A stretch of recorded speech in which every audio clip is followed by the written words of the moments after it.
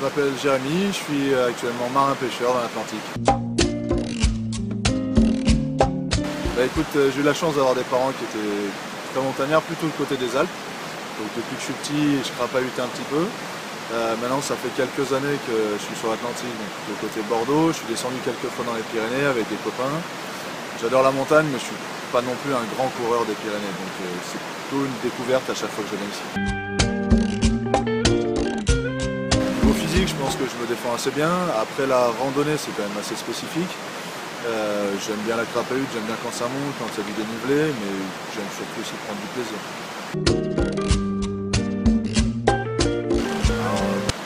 Premièrement, tout premier lieu, prendre du plaisir avec les copains, ça n'a pas de prix. Et euh, bien sûr un petit peu de défi physique, parce que je suis un petit peu comme ça, un petit peu rentre dedans et jusqu'au boutiste.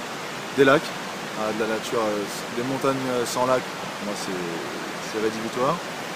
Un petit peu de rocher, du pierrier, une boucle, une petite cabane pour pouvoir dormir, quelque chose sur deux jours, et puis une alternance de plats, de montées, des arbres, et puis apprendre surtout des choses avec des gens qui connaissent le milieu.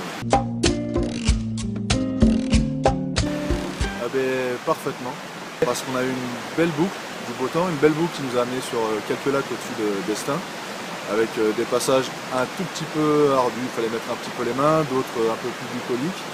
On a pu voir euh, quelques oiseaux, des aigles, des trucs qui étaient bien décrits dans les, fiches descriptives d'ailleurs.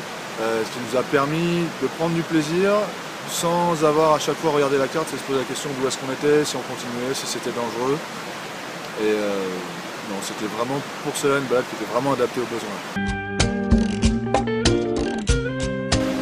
Effectivement, après, je m'en suis servi au début de topo pour pouvoir regarder, prévoir un peu la balade, voir un petit peu euh, ce qu'on doit emporter, où est-ce qu'on va passer, si ça va être dangereux, pas dangereux.